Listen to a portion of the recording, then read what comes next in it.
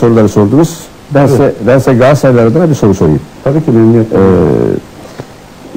Galatasaray camiasında Kanal Türkiye dönük olarak e, gittikçe netleşen bir e, şey var. Bir inanç e, doğmaya başladı. Ben bunu size e, göreve geldiğim Yani olumsuz anlamda bir inanç. Olumsuz anlamda bir yaklaşım var, bir inanç var. Sanki e, Kanal Türk e, Galatasaray'ın e, karşısında yayın yapan bir kurum olarak Ya gözüküyor. Galatasaray'ın iyiliğini istemiyor gibi. E, e, Evet böyle bir inanç var. E, siz bana kendimi ifade etmem için imkan tanıdınız.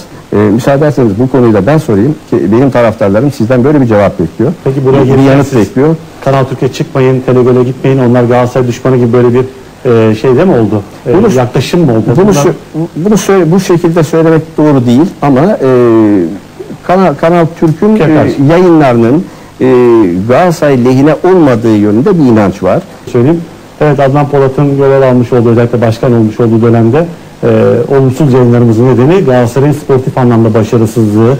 İşte Cemal Nalga olayı yani Galatasaray'ın arka arkaya gelen bu kaotik durumdaki e, o yapısından dolayı oldu. Bir de bizde futbol konuşulmuyor Sayın Başkan.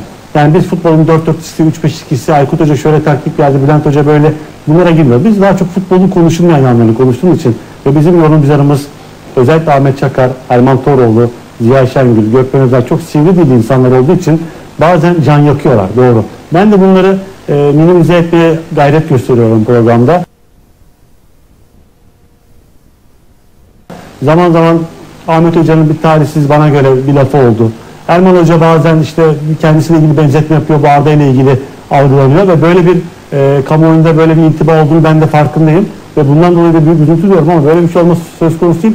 E, biz Galatasaray lehine de çok programlar yaptık. Yani ille de lehine veya aleyhine yapma diye bir düşünce. Biz objektif olabildiğimiz kadar veya şöyle söyleyeyim, e, biz direkt insanlarız. Yani insanlara dolan başlı değil de direkt yüzüne söylemeye veya biraz bu anlamda sert oluyoruz. Belki bu doğru bir tar- şey değil, yöntem değil ama huyundan vazgeçmiyor. Ama en azından bunu söylemeniz benim için çok iyi oldu ekibin başı olarak. En azından biz de bundan sonra ağzımızdan çıkan kelimelere biraz daha dikkat etmemiz gerektiğini, kulüplere karşı asla bir ön yargı zaten olması söz konusu değil. Biraz daha eee şey yani olaylar zaten çıkıyor hep olaylar oluyor. Biraz daha sıcak ve sakin olmamız gerektiğini düşünüyorum. Ee, bu hatırlatmayı yapmanızdan dolayı çok teşekkür ederim. Bundan sonra Galatasaray'a da Fenerbahçe'ye, Beşiktaş'a da diğer kulüplere yaklaşımımız e, çok daha e, eşit mesafede olacak. Lütfen bundan, bundan hepimiz mutluluk duyarız. Biz tamamen e, katiyetle Çok bizi, üzülüyorum Galatasaraylar bizim programlarımızdan üzülüyorlarsa veya Fenerbahçeliler böyle bir şey söz konusu değil. Ben burada size her şeyi sordum. Siz de açık yürekli cevap verdiniz. En azından samimiyetime inandığınızı düşünüyorum. İlk yayınımızda yine 2006'nın Ocak ayında sizle yapmıştık. Sizi hiç tanımıyordum. Bir telefonunuzla bağlanmıştık. gördüğünüz gibi bütün e, kulüplere eşit mesafede ve saygınlık içinde yayın yapmanızdan mutluluk duyacağımızı belirtmek istedim. Antipatik olmak istemiyorum. Bu konuda da bütün yorumcularımla en azından bir kez daha belki yeni sezonda biz de bazı şeyleri gözden geçirmemiz gerekebilir. Biraz daha şey yapabiliriz. Seviyemizi e, korumamız gerektiğini düşünüyorum. Yani